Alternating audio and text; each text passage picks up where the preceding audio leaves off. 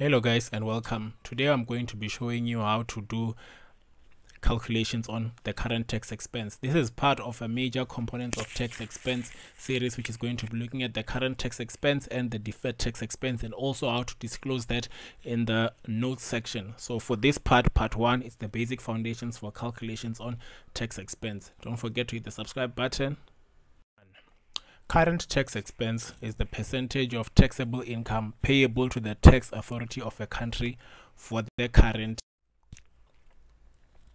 This is the basic income tax expense framework. Our tax expense calculation begins at profit before tax. We arrive at profit before tax by um, calculating our sales, lessing the sales by the cost of sales, which is going to give us our gross profit. If there are any additional income such as interest income, we add that to the gross profit.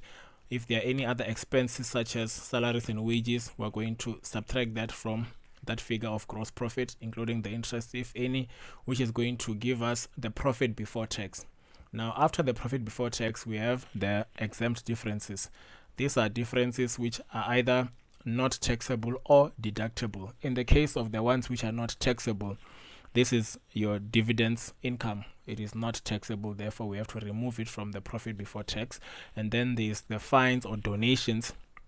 Those are not deductible for for for tax purposes. So this is going to give us the profit after exempt differences. The items which are highlighted in yellow we're going to deal with them in part 2 as they they they are concerned with tax that is payable in the future so that's our deferred tax. So that's in part two. Our taxable profit figure is the one that we are going to arrive at after the exempt and the movement in temporal differences.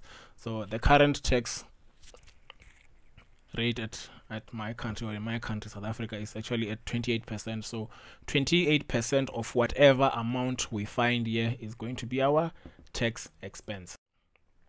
Now for illustration, a company has a profit of hundred thousand included, hundred thousand included in that uh, profit before tax is a dividends of one thousand and fines paid uh, at 200 rands. There are no temporal differences. Assume a tax rate of 28%.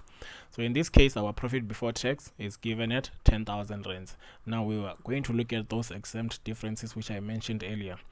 Dividends is an exempt income, therefore it is not taxable. So we have to remove it from the profit before tax figure of 10,000.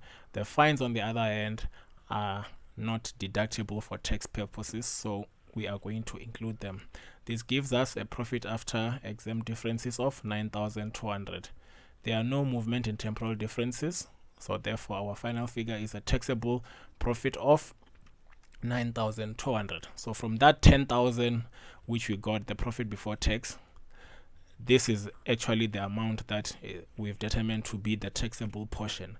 So our current rate of tax expense is at 28%. So 28% of 9,200, if you hit that on your calculator, will give you 2,576. This is the amount that is payable to the tax authorities. Now, like I said before, let's not worry about the deferred taxes. We're going to deal with this in part two since this is a series. So don't forget to hit the like button and also subscribe so that you don't miss out on that tutorial.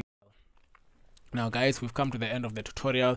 I want to thank you for watching the tutorial. If there's certain things that you don't understand, please leave a, a, comment on the comment section. Just another reminder, we're going to be looking at deferred taxes and everything that has to do with deferred taxes. Also, we're going to look at the notes to to the major components of uh, the the income tax expense. So uh, until then, guys, uh, enjoy your day and see you later.